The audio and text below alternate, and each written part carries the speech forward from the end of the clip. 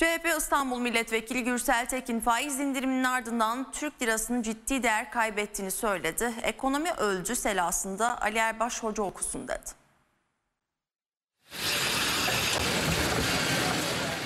Merkez Bankası indirim kararı aldı. Politika faize %19'dan %18'e düştü. Piyasalar hareketlendi. Dövizin ateşi yükseldi. Dolar 9 lira sınırına yaklaştı. Avro 10 lira 40 kuruşu zorladı. CHP İstanbul Milletvekili Gürsel Tekin Türk lirasının ciddi değer kaybettiğini söyledi. Ekonomi öldü. Selasını da Ali Erbaş Hoca okusun dedi. Ne zaman ki Cumhurbaşkanı Merkez Bankası'na dair bir açıklama yaptıysa paramız ciddi değer kaybetti. Her seferinde TL'nin değer kaybedeceğini bilerek bu açıklama yapılıyorsa, döviz arttığında da kim kazanıyorsa onlara gereği yapılıyor demektir. Bunun artık tesadüf olmadığını düşünüyorum.